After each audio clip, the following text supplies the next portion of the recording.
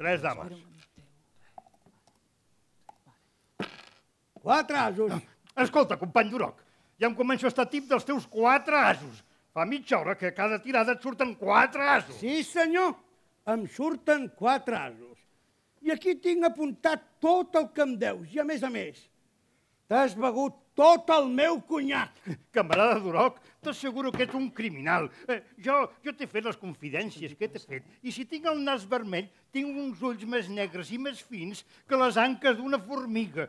I t'asseguro, company Duroc, que ets un criminal. Els teus quatre asos. Que et penses que no me n'adono que, com tires els daus? Eh, on has après a fer trampes? Trampes? Sí, sí, tu, trampes. I a més a més, he descobert que ets un espia i un poca vergonya. Calla! Criminal! Oh, m'ha fet nas, m'ha fet sang. Què passa? M'ha fet sang, que la teva m'ha fet sang, m'ha fet sang, m'ha fet sang. Covard. Ets un covard.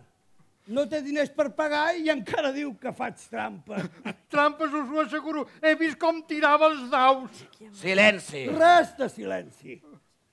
Em paga ell o em pagueu vosaltres. Jo no he jugat mai per passar l'estona. Doncs jo l'estona te la puc fer passar amb un joc que no t'agradarà gaire, bandit. Anem, va, deixeu-ho estar, no, no sigueu més imprudents. No s'espanti, senyora. Tranquil·litzis. Perquè jo li asseguro que aquest gran amor de vostè no la saltarà així com així, la frontera. Sé qui és i sé la documentació que porta. Que jo no passaré la frontera? No. I encara que duguis aquesta americana tan riboteada, no m'espantes.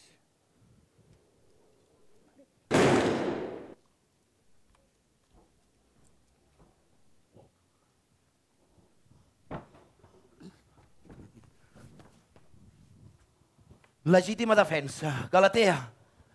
Legítima defensa. El cor m'ho deia que em serviries. T'has portat bé, petita, t'has portat bé. Però, però et- ets un assassí? T'he dit legítima defensa. Avui tothom té dret a matar. I la vida d'un home no val res. La vida d'un home no compta. Tu també, Aquiles, tu també t'havies fet de passar aquest gust. I ara és un somni que hem de començar a somiar tu i jo. Era un criminal. T'asseguro que era un criminal, Galatea. I ara fugir de pressa. Va, el nostre somni. El nostre somni, a tot gas. Anem. A tot gas.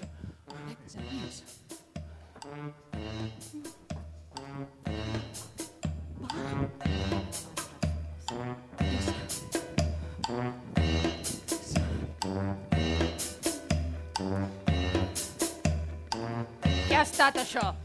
Un tret? Va, se'n senten tants. I això? Un home mort? Un home mort? I els altres? Els altres han fugit? Ah, sí, gent honorable, gent honorable, gent honorable.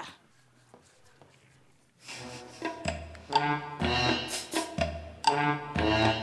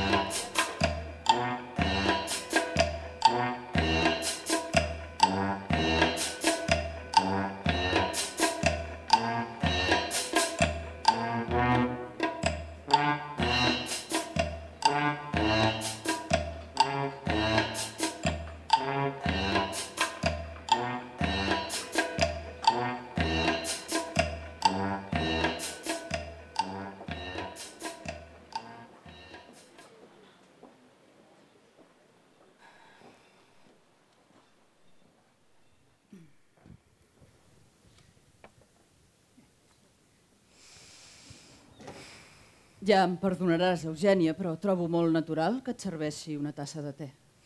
Em vindrà molt de gust, mamà.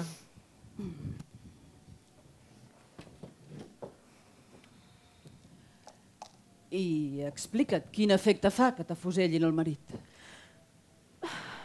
És una mica complicat. En l'espai de tres dies vaig viure infinits moments, i cada un diferent dels altres.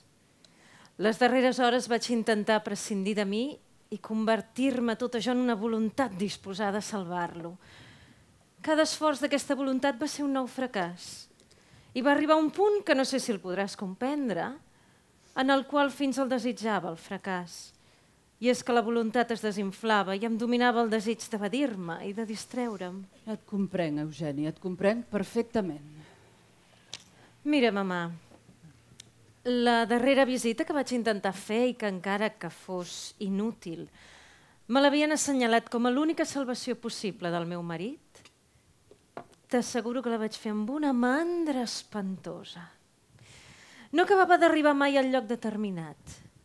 I recordo que em vaig estar més de 10 minuts entretinguda, però agradablement, contemplant l'aparador d'una perfumeria. No ho trobes absurd, mamà? Compte que al cap de 10 hores afusellaven el meu marit. No ho trobes espantós? El que tu t'aturessis 10 minuts al davant d'una perfumeria? No, ho trobo natural. No ho trobo espantós. I després, quan vaig saber que tot estava llest, vaig respirar. I vaig dormir profundament. T'asseguro que poques nits he dormit més de gust, amb una capacitat de repòs més perfecta, més plena d'aquella satisfacció sana i animal que produeix al cos cansat un exercici intens. Com en èpoques del col·legi, quan havíem passat tot un dia esquiant i després d'un vas de llet ben calenta al nostre llit de campanya inconfortable, ens produïa la felicitat absoluta. I quan et vas despertar, què?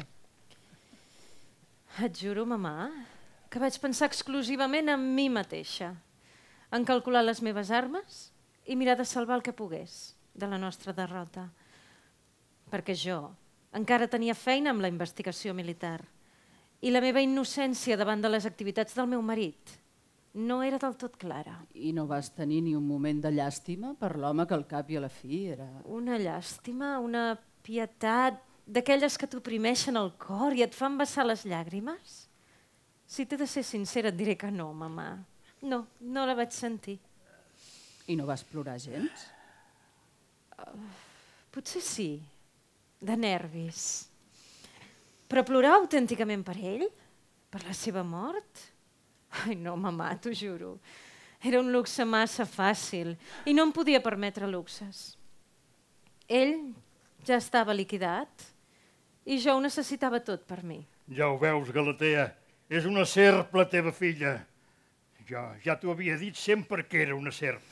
Quan li donaves les sopes abans de dormir-la en el primer descans del circ, ja m'ho semblava que no em faria res de bo. Calla, Jeremies, preocupa't dels teus daus.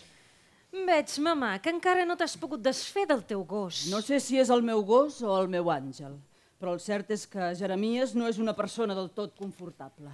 Escolta, tu, heroïna de novel·la, entre la teva mare i jo, res. La teva mare és el meu suplici. Encara és l'hora que m'ha pogut tolerar mai en un racó del llit. Sóc una dona de gustos normals i ni els gossos ni els àngels no hi han de fer res en el meu llit. I fes el favor de no ficar-te en la nostra conversa, Jeremies. Idiota. I tu què? Has deixat el circ, definitivament? No, definitivament no he deixat res ni m'he lligat amb res. Avui sóc l'associada d'un fabricant de sabó, és a dir, aquesta és la versió oficial, la fàbrica encara no existeix, per ara vivim de projectes. Som una mena de despistats supervivents i beure una tassa de cafè amb llet de la manera que sigui ho trobem més interessant que deixar-nos anar del tot i esperar les herbes humides d'un cementiri. Continues essent la desmenjada de sempre. Ja m'ho tenia per segur que aquestes quatre besades que ens hem fet no em curarien de res. Qui sap? Potser a la cantonada d'aquest carrer trobaràs el trèvol de quatre fulles. Però sí, tens raó, Eugènia. Després d'un any de la teva desgràcia, em sembla molt curiós que t'hagis decidit a donar un cop d'ull sobre el desordre de la teva mare, perquè en definitiva no crec que jo et pugui servir de gran cosa. Tens la família del teu marit. El meu marit. Des de que l'han afusellat, el meu marit és alguna cosa. És un home afusellat. I això sempre compta, sempre té un punt de sensacional. Oi, n'han afusellat tants, filla meva, que no és prudent fer-se moltes il·lusions sobre l'interès que pugui tenir la mort del teu home.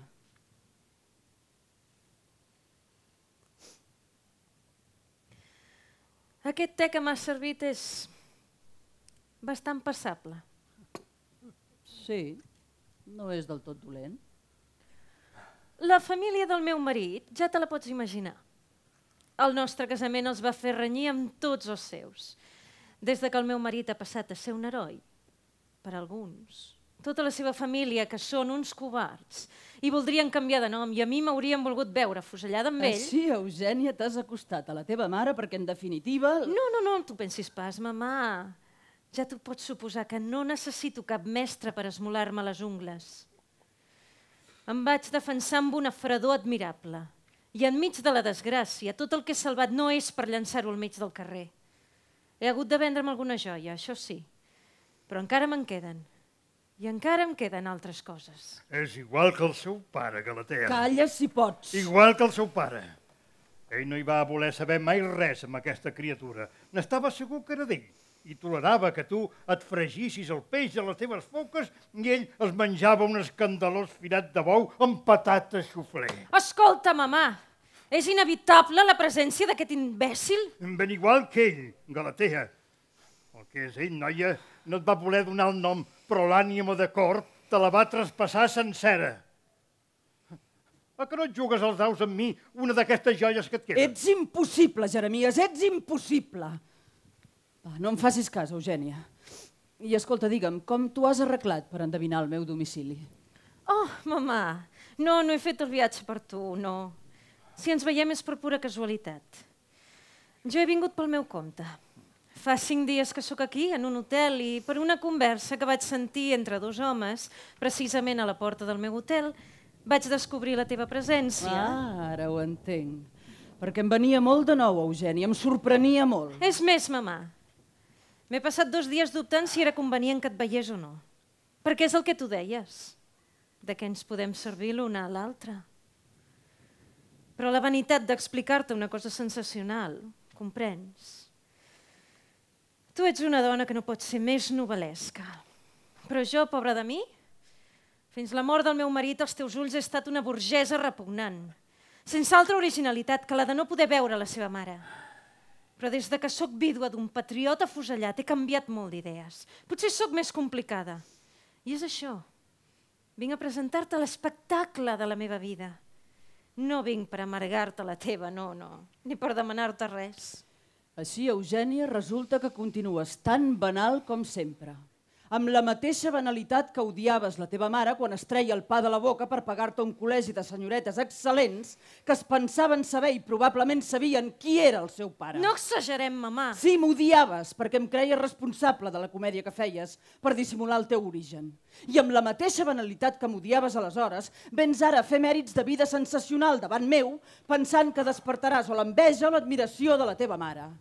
Ai, Eugènia, encara que realment arrosseguessis una tragèdia escandalosa, per tu l'afusellament del teu marit té la importància d'un abric de pells que no podies preveure sobre les teves espatlles, i com si fos un magnífic abric, i amb una satisfacció infantil el vas a passejar davant dels ulls de les dones que somien abrics magnífics o que tu penses que els somien. Mamà, jo em tenia per una persona dura, però veig que tu ets implacable. Només et canto les veritats. I que consti, no, no em molesta gens. Pots suposar que aquella mica de tendresa que no vas saber o no vas poder oferir-me quan tenies 12 anys, no seré ara jo tan infeliç de pensar que me la puguis oferir avui. No, Eugènia, no. En tot cas, en el que jo et dic no hi ha ni una gota de queixa o de ressentiment. Però ja que la meva desgràcia ens ha dut a representar el paper de mare i filla d'una manera tan poc edificant, no siguis tan càndida de voler-me meravellar amb un cinisme que a mi no em fa cap impressió. No és cinisme, mamà. O, potser sí que ho és, no ho sé, segons com tu miris. Però jo t'he parlat de mi, del meu cas, tal com ho veig i tal com ho sento. Doncs què és, Eugènia? I encara és pitjor. És un cinisme estudiat. Jo sé que abans de venir-me a veure has preparat la lliçó. Per què? Això ho sabràs tu, perquè amb el menyspreu i fredor que m'has demostrat sempre, no veig quina gràcia pugui tenir que et preparis la lliçó per veure la teva mare després de tants anys de no haver-te ni recordat. Prou, mama, prou! Res del que dius no és veritat. Tot això és fals. Jo et puc haver odiat, no ho sé. El que sé és que mai, des de que tinc ús de raó, no he sentit la necessitat de saltar al teu coll i d'abraçar-te. Però que jo em consideri superior a tu. O que no vegin la teva vida moltes coses excepcionals. Tu no tens cap dret a afirmar-ho. Com tampoc no tens dret a dubtar del que et dic ara. Per mi, la teva admiració o la teva enveja representarien la satisfacció més gran, perquè vegis en quin concepte et tinc. Gràcies, filla meva, ets molt gentil. Encara que jo, en lloc d'aquest gran concepte que tens de mi, preferiria aquella necessitat d'abraçar-me que, segons tu afirmes, no has sentit mai. No us piqueu més la cresta, desgraciades gallines. Galatea, deixa't de compliments. Ella ha vingut aquí per fer mal i no perquè l'admiris ni perquè vadis la boca davant del seu cas. La gossa perdiguera del teu marit, si és que el teu marit tenia gossa perdiguera, va més marcada del seu afusellament que tu. Colla, desgraciat pallasso! Vergonya de les febleses de la meva mare! No facis la valenta amb mi, perquè dus unes mitges de cristall i et pintes els llavis amb un vermell que mai no t'has pogut permetre. Vols que tingui consideració? Callaràs, Jeremies, d'una vegada? No, no, vull callar. No veus que t'arrencarà la pell per fer-se'n una faixa de moda?